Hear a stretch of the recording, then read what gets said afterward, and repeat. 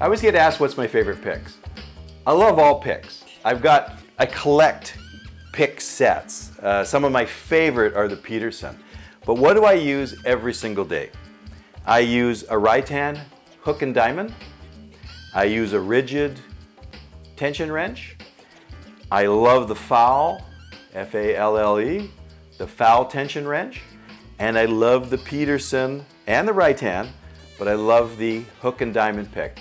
This probably opens up 90% of every lock I pick on a daily, weekly, monthly basis. So really I can get by with a couple picks.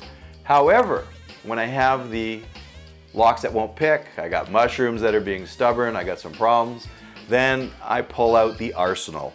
So uh, this is probably my go-to pick set. Uh, it's a Peterson. I love the Falle. I don't. I left it in my truck. I have a Falle as well. I love that. When I can't pick it, then you pull out the heavy artillery. And then when you can't pick it with the heavy artillery, I pull out the electronic pick guns. And they usually get it. When all else fails, I drill the lock or other bypass techniques. I probably only carry these four pick tools, two picks, two tension wrenches. That does close to 90, 95% of everything I have to do. So I love having my fancy pick sets. Customers love it when you pull out something like this. This is the most expensive pick kit you can buy from Peterson. It's fantastic, but it's got everything. Got little bypass tools. It's got everything you could uh, heart desire.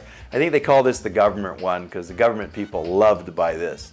However, when it comes to picking locks on a daily basis, I just use these four pieces here, two picks, two tension wrenches. This is my favorite stuff. I hope you enjoyed watching this video. Subscribe to my channel.